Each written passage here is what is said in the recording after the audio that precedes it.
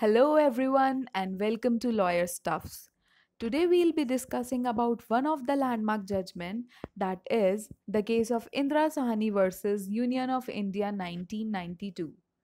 Let's quickly know the reason why it is known as landmark judgment and that is because it was pronounced by largest bench of constitution that is by 9 judges and judgment was pronounced by 6-3 majority. Here are some facts about the case. The first backward commission was formed in 1953, popularly known as Kaka Kalelkar's Commission. It submitted its report on March 30, 1955, listing out 2,399 castes, but central government did not accept that report. In 1979, Second Backward Commission, popularly known as Mandal Commission, was formed, headed by Prime Minister Sri Morarji Desai.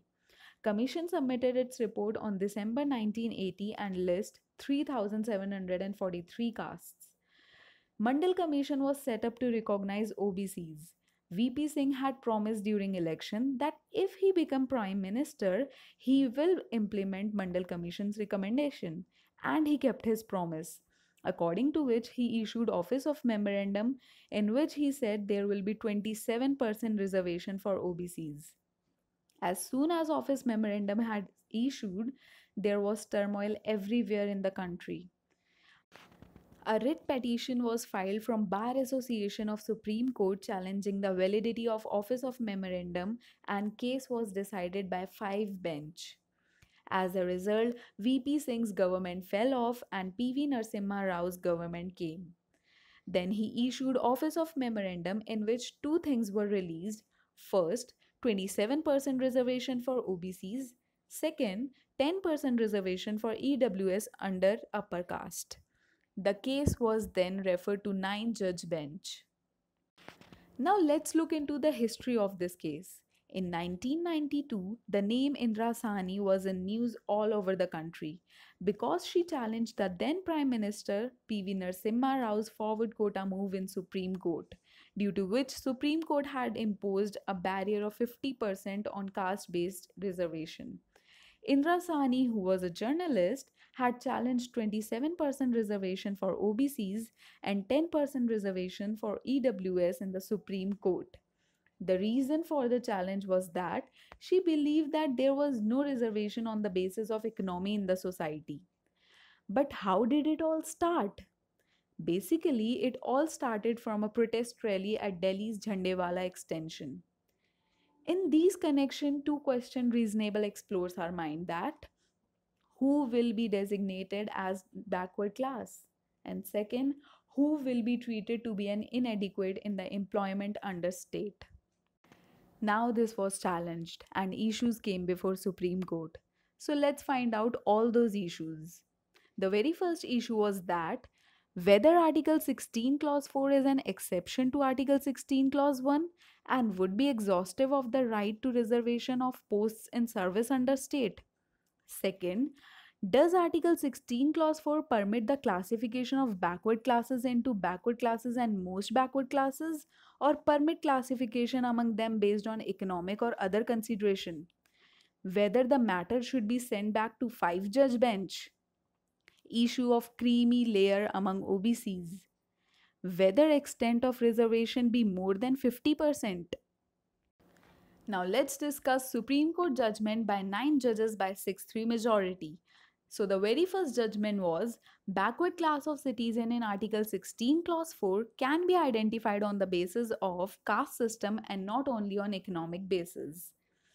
Court held that in Indian context, backwardness is mainly social backwardness Apart from this, there can be economic backwardness, educational backwardness, and cultural backwardness. But here, the main focus should be on social backwardness. The next judgment was the comparison between Article 16 Clause 4 and Article 15 Clause 4. So Supreme Court made it very clear that Article 16 Clause 4 includes backward class, whereas Article 15 Clause 4 only includes socially and educationally backward class. The third judgment was that reservation shall not exceed 50%. That means that reservation cannot be more than 50% of the total seats. And also this rule is applicable year-wise and not cadre-wise.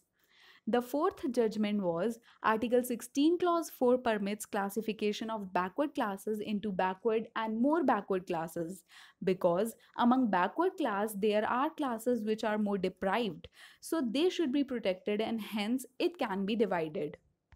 The fifth judgment was that reservation cannot be made by executive officer. Creamy layer must be excluded from backward class. The next was that majority held that there is no need to express any opinion on the correctness and the adequacy of the exercise done by Mandal Commission. Disputes regarding new criteria can be raised only in Supreme Court. So the conclusion was the decision of this case no doubtly laid a workable solution to the reservation problem. Subsequently, there were three constitutional amendments. First, 77th constitutional amendment in 1995 under which a new clause was inserted in article 16 that is article 16 clause 4a second 81st constitutional amendment in 2000 under which a new clause 4b was inserted under article 16 84th and 85th constitutional amendment in 2001 under which the words in matter of promotion to any classes were substituted by the words in matter of promotion with consequential seniority to any class. So this was all about Indra Sawhney case versus Union of India 1992. Thank you for watching and if you like our video, do share and let us know your views in the comment section. Thank you.